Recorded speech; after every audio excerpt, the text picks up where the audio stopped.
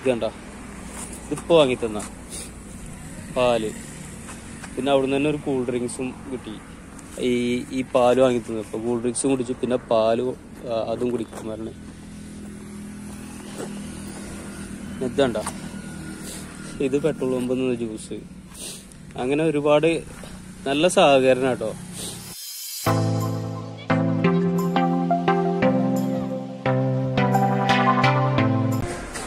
നമസ്കാരം. ഭ്രാന്തന്റെ എപ്പിസോഡ് തുടങ്ങി. നമ്മളിപ്പോൾ ഉള്ളത് അഹമ്മദാബാദ് ജംഗ്ഷനിലാണ്. നമ്മൾ ലക്നൗ നിന്ന് ട്രെയിൻ കയറ്റി വിട്ട് ഇവിടെ എത്തിയിട്ടുണ്ട്. ഏകദേശം ഒന്നര ദിവസം എടുത്ത് ഇവിടെ എത്താണ്. ഒരു സെക്കൻഡ് ക്ലാസ് യാത്ര എന്നൊക്കെ പറയൂലേ. ഒരു നോർത്ത് ഇന്ത്യൻസിന്റെ കൂടെ ഫുള്ള് എന്താ പറയാ ഒരു വെറുതില്ലാത്ത ആൾക്കാർ അങ്ങനെ തുപ്പുന്ന് പാൻ മസാലകൾ ഇടുന്നു അങ്ങനത്തെ കാര്യങ്ങളൊക്കെ ആയിട്ട് ആകെ ഒരു ഒരു എന്താ പറയാ ഒരു വ്യത്യസ്തമായൊരു ഇത്. നമുക്ക് ഉൾക്കൊള്ളാൻ കഴിയൂല. അപ്പൊ അങ്ങനെയൊക്കെയാണ് കാര്യങ്ങൾ സൈക്കിൾ എത്തിയിട്ടുണ്ട്. ഞാൻ കാണിച്ചു തരാം. അഹമ്മദാബാദ് ജംഗ്ഷൻ. ഇതവിടെ പാർസൽ. നമ്മളത് തുറന്നിട്ടിക്കണേ നമ്മളത് എടുത്തു തരുന്നില്ല. പൈസക്കും വേണ്ടി വെയിറ്റ് ചെയ്തുകൊണ്ട് കിട്ടിയേക്കാരം നമ്മളടുത്താണ് കയ്യിൽ ഇപ്പൊ പത്ത് പൈസ അല്ല ഇനി അധികം എടുത്തിട്ട് പോകണം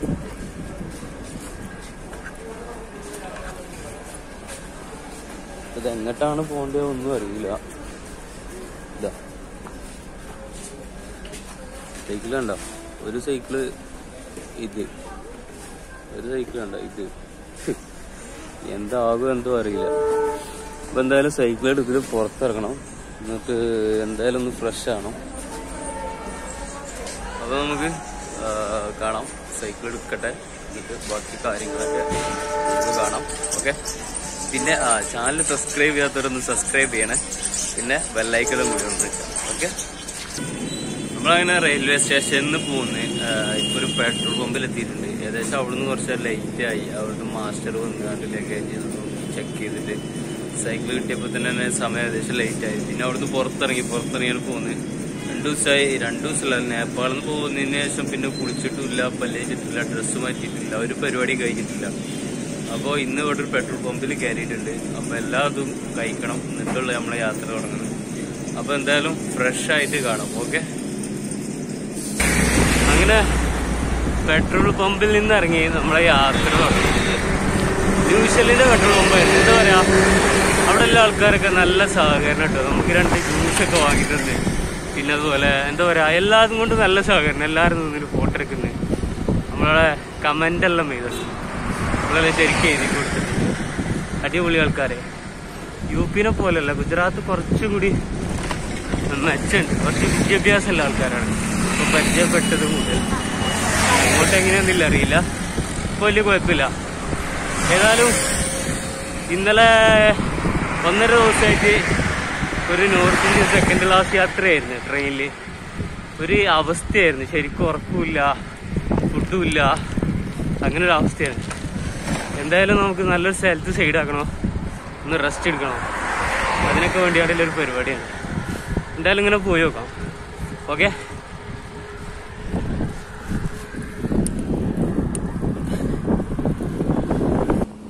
അങ്ങനെ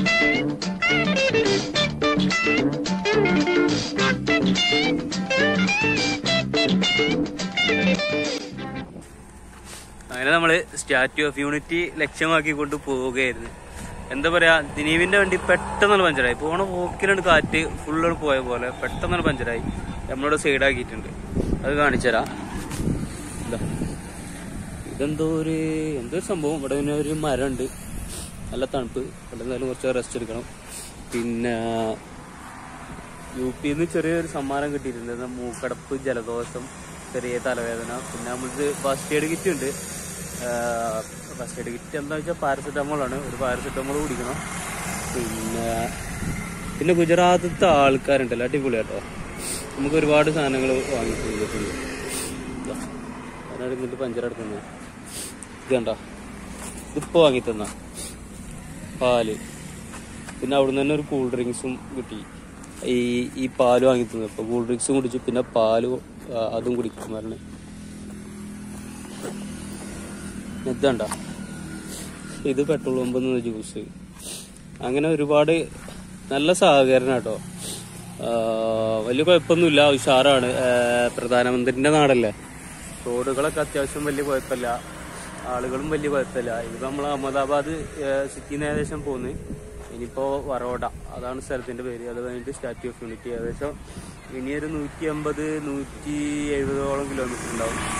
അപ്പൊ എന്തായാലും ഇവിടുന്ന് കുറച്ച് റെസ്റ്റ് എടുക്കണം. എനിക്കൊരു ഗുളി കൂടിക്കണം. എന്നിട്ട് നമ്മളെ യാത്ര വീണ്ടും തുടങ്ങും. ഓക്കെ? അങ്ങനെ നമ്മൾ അവിടുന്ന് പഞ്ചർ ഒട്ടിച്ച് പോന്ന്. പോന്ന് കുറച്ച് കഴിഞ്ഞാൽ തന്നെ നമുക്ക് ഇവിടെ ഒരു ഡാബ കിട്ടി. ഡാബ കിട്ടി ഭക്ഷണം കഴിക്കണം. ദാ. ഈ പഞ്ചറാടിയിൽ നിന്ന് ദിനീപിന്റെ വണ്ടിക്ക് അത്യാവശ്യം കാറ്റടിച്ചു. ഇത് കാറ്റടിച്ചിട്ട് കയറുന്നില്ല കാറ്റ് ഒഴിഞ്ഞുകൊണ്ടിരിക്കുന്നതിനാണ്. പഞ്ചറാണ് തോന്നുന്നത്. അങ്ങനെയാണെങ്കിൽ അടുത്ത പണി വീണ്ടും നോക്കേണ്ടി വരും. ഞാൻ വേറൊരു സംഭവം കാണിച്ചു തരാം. ഇതാണ് ദാബ അത് ഒരു പുതു നല്ല കാര്യമല്ല. പക്ഷെ ഇത് കണ്ട ഇവിടെ ഒരു ഡ്രസ്സ് വിൽക്കുന്ന ഒരു ഇതുണ്ട്. അതായത് റോഡ് സൈഡിൽ തന്നെ ഇങ്ങനെ കൂട്ടിയിട്ടാണ്ട് വിൽക്കുന്ന സംഭവമാണ് ഇവിടെ ഒരുപാട് സാധനങ്ങളുണ്ട്. ഞാൻ ചോദിച്ചപ്പോൾ പറഞ്ഞത് നൂറ് രൂപ മുതലാണ് സ്റ്റാർട്ടിങ്. അഞ്ഞൂറ് രൂപ വരെയാണ് ഉള്ളത്? ഒരുപാട് സാധനങ്ങൾ. വേണ്ട നമ്മൾ പറയുന്ന പൈസ കൊടുത്താൽ മതി. ഒരു അമ്പത് രൂപ മുതൽ അഞ്ഞൂറ് രൂപ മുതലാണ് സ്റ്റാർട്ടിങ്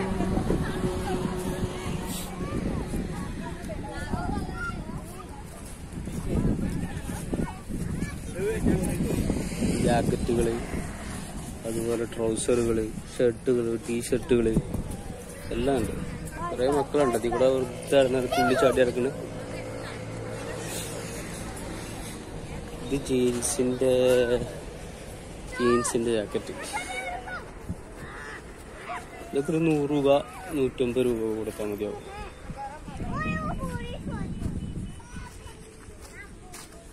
പിന്നെ ഈ സൈഡ് ജാക്കറ്റുകൾ അങ്ങനെ തൂക്കിയിട്ടുണ്ട് ഏകദേശം അഞ്ഞൂറ് രൂപ വരെയാണ് മാക്സിമം പറഞ്ഞിട്ടില്ല? ഇത് കണ്ടോ? ഇതൊക്കെ നാളെ സൈസ് എത്രയായിരിക്കും? ഇങ്ങോട്ട് നോക്കി.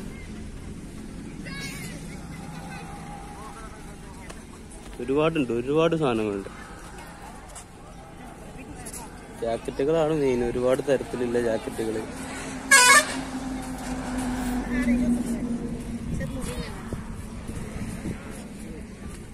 പിന്നെ ചെറിയ കുട്ടികൾക്കുള്ള സംഭവം. ചെറിയ മക്കൾക്കില്ല ട്രൗസർ പോലത്തെ സംഭവം.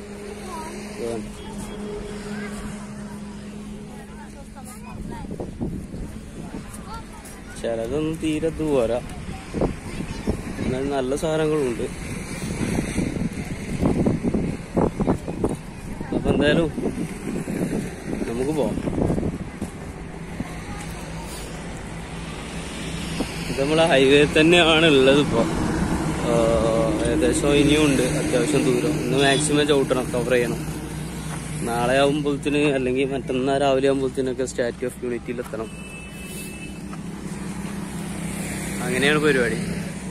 അപ്പൊ എന്തായാലും ഭക്ഷണം കഴിക്കണം. ഭക്ഷണം കഴിഞ്ഞിട്ട് ഭക്ഷണം കഴിച്ചിട്ട് നമ്മളെ യാത്ര വീണ്ടും തുടങ്ങും. ഓക്കെ? ഇന്നത്തെ ഫുഡ് ഉണ്ടോ? ഇന്നത്തെ ഫുഡ് അടിപൊളി ഫുഡാണ് ഏകദേശം എഴുപത് രൂപയെ വരുന്നുള്ളൂ. ഇത് കുറച്ച് ചോറ് പിന്നെ ഇവിടെ കുറച്ച് കറി. ഇവിടെ നാല് ചപ്പാത്തി രണ്ട് പപ്പടം പിന്നെ ക്യാബേജിന്റെ ഇത് പിന്നെ മുളക് പൊരിച്ചത് പിന്നെ ചെറുപയർ ക്യാരറ്റ് തക്കാളി ഒക്കെ ഇട്ടുകൊണ്ടൊരു സംഭവം. പിന്നെ അത് മിക്സർ ഒക്കെ കൂട്ടിയാണ്ടുള്ളൊരു സംഭവം. ഇതാ. ഇത്രയും ഐറ്റം എഴുപത് രൂപ. ഇത് അടിപൊളി. ഇത് വലിയ കുഴപ്പമില്ല. മറ്റേത് നമ്മൾ മീൽസ് മാത്രം കഴിച്ചുകൊണ്ടിരുന്നിരുന്ന് എഴുപത് രൂപക്കാണ്. അപ്പം എന്തായാലും ഇത് കഴിച്ചിട്ട് നമുക്ക് ബാക്കി കാണാം. അങ്ങനെ ഭക്ഷണം എല്ലാം കഴിച്ച് നമ്മളെ യാത്ര തുടങ്ങിയിട്ടുണ്ട് എന്താ പറയാ അടിപൊളി ഭക്ഷണം കേട്ടോ എഴുപത് രൂപക്ക് അത്രയും സാധനങ്ങൾ കിട്ടുന്നുണ്ട്. എന്താ പറയാ നല്ല ടേസ്റ്റും ഉണ്ട്. അടിപൊളി ഉഷാറ്. പിന്നെ നമ്മളിപ്പോ പോകുന്ന വഴി എന്ന് പറയുമ്പോ എന്താ? രണ്ട് സൈഡും മരങ്ങളാണ്. അതുകൊണ്ട് വെയിൽ വെയിലുണ്ട്. പക്ഷെ ചൂടില്ല. അതുകൊണ്ട് അടിപൊളിയാണ് പിന്നെ റോഡുകളൊക്കെ ഏകദേശം വലിയ കുഴപ്പമില്ല കേട്ടോ. ഉഷാറാണ്. പിന്നെ അതുപോലെ തന്നെ ഇതാ ഇവിടെ കാണുന്നതാടാ എന്ത് ഫാക്ടറികളാണ് ഇവിടെ മെയിൻ ആയിട്ടുള്ളത് ഓരോ കമ്പനീന്റെ ഫാക്ടറികൾ. പിന്നെ റോഡിൽ മരങ്ങൾ രണ്ട് സൈഡും മരങ്ങൾ. അത് വെയിൽ വരുന്നില്ല. പിന്നെ യു പിയിലെല്ലാം നമുക്ക് ഈ സമയമാകുമ്പോൾ തന്നെ ഏകദേശം തണുപ്പ് തുടങ്ങും അപ്പോൾ അത് ഏകദേശം അഞ്ചു മണി. ഏഹ് ഏതായാലും നമുക്കിങ്ങനെ പോയി നോക്കാം. ഓക്കെ?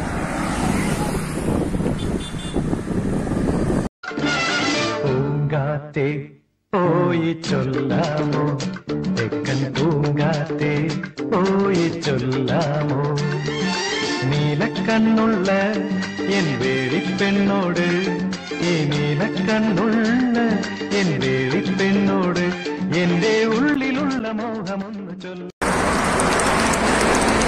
സമയം ഏകദേശം ഏഴ് മണിയായിട്ടുണ്ട്.